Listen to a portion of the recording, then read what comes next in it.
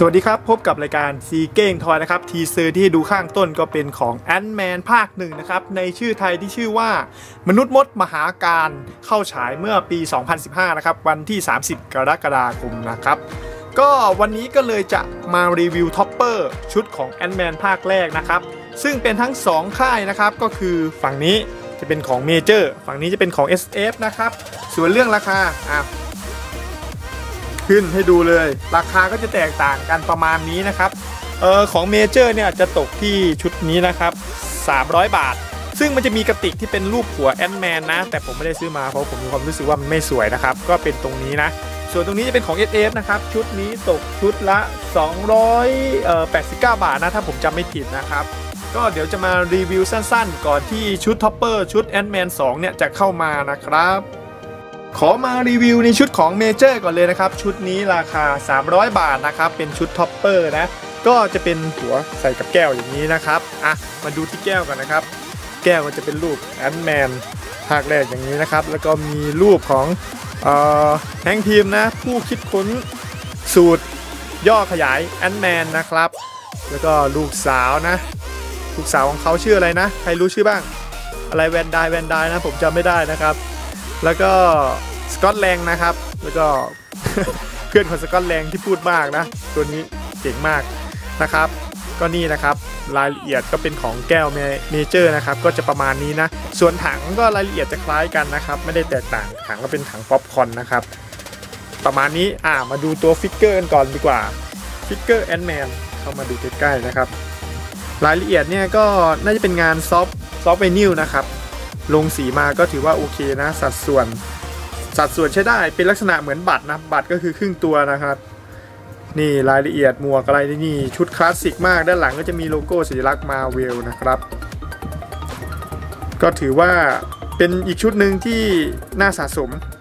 นะแต่ช่วงหลังๆเนี่ยผมจะชอบสะสมเกี่ยวกับที่เป็นลักษณะเหมือนหัว เพราะว่าดูดูแล้วพอมันวางรวมกันตั้งหลายๆคลิปที่ผมเคยรีวิวนะ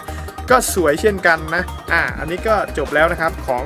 เมเจอร์นะครับ อะ เรามาดูของ SF กันบ้างนะครับ นี่ก็เป็นในส่วนของ SF นะครับ SF ให้มาดูถังก่อน ถังกับแก้วเนี่ยรูปจะเหมือนกันนะ แก้วผมไม่รู้ผมเก็บไว้ไหนนะ ก็จะเป็นรูปแอนแมนนะครับกำลังขึ้นกับเจ้ามดผู้ใจที่ตายในภาคแรกผมลืมชื่อมันนะ ต้องกลับไปหาข้อมูลนะครับ ก็จะเป็นโลโก้ของ Ant-Man Marvel นะครับ แล้วก็ ตรงนี้ก็จะเป็นรายละเอียดการติดต่อแท็กเก็ตอะไรพวกนี้นะ แล้วสัญลักษณ์ของ SF ก็จะอยู่ด้านนี้นะครับ ชุดนี้ก็ชุดละ 259 บาทจะหาข้อมูลไปแล้วเปิด Google มาเมื่อกี้นะครับ แล้วก็จะได้ตัว figure นะครับ ซึ่งเขามีสะสมให้อยู่ 2 แบบนั่นเองนะครับ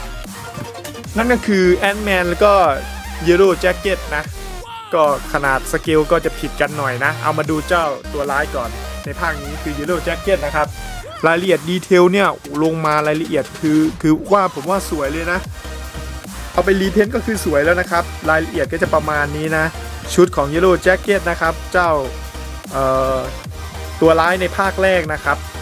ภาค 2 ก็จะเป็น Ghost นะ เดี๋ยวถ้ามี topper หรือว่าอะไรเนี่ย ผมจะมารีวิว ซึ่งมาใน stand ฐานเขียนว่า Ant-Man ตรงนี้ ซึ่งลูกเล่นมันไม่ได้มีแค่นี้นะครับ มันสามารถเอามาต่อกับอีกฐานหนึ่งได้อย่างนี้ นี่ต่อแล้วก็ยืนคู่กันอย่างนี้นะครับได้นะอะขอเราก่อนมารีวิวเจ้า Ant-Man นะครับอะโฟกัส Ant-Man ขี่มาในมดนะครับ มดงานบินได้นะเออสังเกตว่าตรงนี้มันจะมีเป็นลักษณะเหมือนเครื่องยนต์ด้วยนะครับแหม Hank Pym นี่สุดยอดเลยนะที่ประดิษฐ์เจ้ามดงานตัวนี้มาให้ Scott Lang ขี่นะครับ Scott Lang เนี่ยก็เป็นเออ Ant-Man คนที่ 2 นะ คนแรกถ้าเกิดเราได้ดูตาม ภาคแรกนะครับ ก็จะเป็น Hank Pym นะครับ ก็ชุดดั้งเดิมของเขาเลยนะ แต่เขาบอกว่าเขามีผลต่อการใช้สูตรยานี้ก็เลยให้ Scott Lang มาเป็น Ant-Man คนที่ 2 ต่อ แล้วก็ได้มีบทมาลุยในเอ่อ Civil War นะครับ แล้วก็อเวนเจอร์ภาค 4 ยังไม่เห็นเอออเวนเจอร์ภาค 3 ก็ยังไม่เห็นเขานะ ซึ่งไม่รู้ว่าเขาจะโดน Thanos สลายไปด้วยหรือเปล่านะ อันนี้ก็ต้องรอไปพิสูจน์กันผมคิดว่าหนังเรื่อง Ant-Man ภาค 2 นะครับ Ant-Man and Wasp เนี่ยน่าจะมีเอ่อน่าจะมีการเฉลยเกี่ยวกับทฤษฎีตรงนี้นะ ไม่แน่อาจจะเกี่ยวกับการย้อนเวลานะ อันนี้ก็ไม่แน่เหมือนกันนะครับอะมารวมของเมเจอร์กับ SF กันเลยดีกว่า ทั้งสองเขาเป็นค่ายโรงหนังนะครับที่ผลิตที่นำเข้านะทั้ง topper แล้วก็กระกระป๋อง bucket ต่างๆนะครับ ผมก็เป็นแฟนเกี่ยวกับหนังซูเปอร์ฮีโร่ก็อยากเก็บไว้นะ เพราะว่าถังพวกนี้มัน มันบอกด้วยวันที่เท่าไหร่นะ นอกจากการสะสมตั๋วที่เข้าชมดูหนัง แล้วก็มีพวก topper แล้วก็figure พวกนี้แหละครับที่ผมสะสมด้วยยังไงก็ถือว่าคลิปนี้เป็นเหมือนห้องสมุดให้เข้ามาค้นคว้าหาข้อมูลเก่าๆนะ เพราะว่าผมจะทยอยอัพเกี่ยวกับพวกชุดถัง bucket ต่างๆนะครับ ที่เกี่ยวกับซูเปอร์ฮีโร่ไม่ว่าจะเป็น Marvel DC นะก็จะทยอยเอามาลงละ เพื่อให้เป็นข้อมูลให้เพื่อนๆหาใน YouTube กันนะครับสำหรับวันนี้รายการซีเก้งทอยขอลาไปก่อนกับเจ้าชุด Ant-Man ภาคแรก มนุษย์มดมหาการ สวัสดีครับ